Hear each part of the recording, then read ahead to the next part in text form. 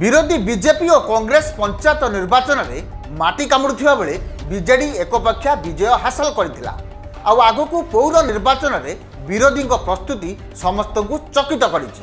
ପଞ୍ଚାୟତ ଭଳି ପୌର ନିର୍ବାଚନରେ ବିରୋଧୀମାନେ ପ୍ରସଙ୍ଗବିହୀନ ହୋଇ ନିର୍ବାଚନ ମଇଦାନକୁ ଓହ୍ଲାଇଛନ୍ତି।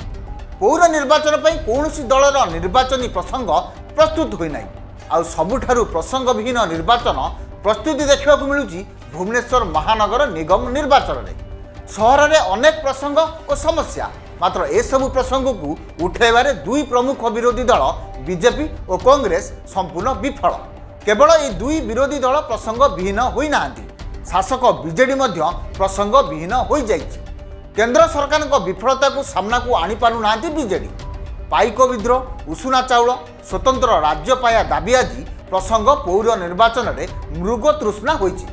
ଅନ୍ୟପଟେ ବେରୋଜଗାର ଦରଦାମ ବୃଦ୍ଧି ଗ୍ୟାସ୍ ଦର ଓ ତେଲ ଦରର ବୃଦ୍ଧିକୁ ନେଇ ମୌନ ରହିଛି ବିଜେଡି।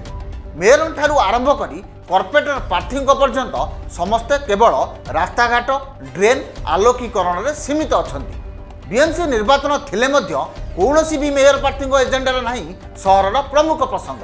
କେବଳ ଉପର ଠାଉରିଆ ଭାବେ ପ୍ରତିଶ୍ରୁତି ଦେଉଥିବା ଦେଖିବାକୁ ମିଳୁଛି।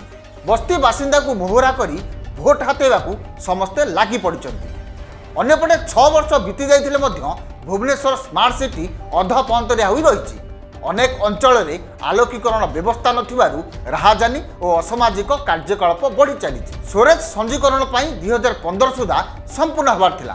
ମାତ୍ର ତାହା ମଧ୍ୟ ଅଧା ହୋଇ ପଡ଼ିଛି। କେବଳ ନାମ ଫଳକରେ ସ୍ମାର୍ଟ ସିଟି ସୀମିତ ରହିଛି। ଭୁବନେଶ୍ୱରରେ ଅଣ୍ଡରଗ୍ରାଉଣ୍ଡ ବାଣିଜ୍ୟିକ ମହଲ ଚିକଣ ରାସ୍ତା ଆଲୋକମାଳାରେ ଝୁଲୁସୁଥିବା ଫୁଟପାଥ ସ୍ମାର୍ଟ ଟଏଲେଟ୍ ବ୍ୟବସ୍ଥା ବ୍ୟବସ୍ଥିତ ସ୍ୱେରେଜ ପାଇଁ ବହୁ ଭିତ୍ତିପ୍ରସ୍ତର ପଡ଼ିଥିଲା ରାଜଧାନୀବାସୀ ରଙ୍ଗୀନ ସ୍ୱପ୍ନ ବି ଦେଖିଥିଲେ କିନ୍ତୁ ବିଏମ୍ସି ଓ ବିଡି ଅଧିକାରୀ ସରକାରୀ ତହବିଲରୁ କୋଟି କୋଟି ଟଙ୍କା ସାରିଲେ ମାତ୍ର ଗୋଟିଏ ବି କାମ ସମ୍ପୂର୍ଣ୍ଣ ହୋଇପାରିଲା ନାହିଁ। ଏଭଳି ମାଳ ମାଳ ଅଭିଯୋଗକୁ ନେଇ ବିଜେପି ଓ କଂଗ୍ରେସ ଗର୍ଜୁଥିଲେ।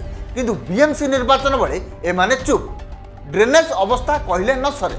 ଅସରାଇ ବର୍ଷାରେ ରାଜଧାନୀରେ କୃତ୍ରିମ ବନ୍ୟା। ଯେଉଁଥିପାଇଁ ନିକଟ ଦିନରେ ମୁକୁଳା ଡ୍ରେନ୍ରେ ନାବାଳକ ଭାସିଯିବାରୁ ମୃତ୍ୟୁ ହୋଇଥିଲା। କିନ୍ତୁ ଏହି ସମସ୍ୟାରେ ରାଜଧାନୀବାସୀ ଆଉଟ୍ ପାଉଟ୍ ହେଉଥିବା ବେଳେ ବିଏମ୍ସି ନିର୍ବାଚନରେ କୌଣସି ବି ରାଜନୈତିକ ଦଳ ଏହାକୁ ପ୍ରସଙ୍ଗ କରିନାହାନ୍ତି।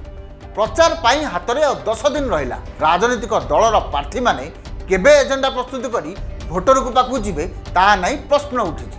ଅଧିକ ଅପଡେଟ୍ ପାଇଁ ଆମ ଚ୍ୟାନେଲକୁ ଲାଇକ୍ ସେୟାର ଏବଂ ସବସ୍କ୍ରାଇବ୍ କରିବାକୁ ଜମାରୁ ବି ଭୁଲନ୍ତୁନି। ନିର୍ଭୟ ସୂଚନା।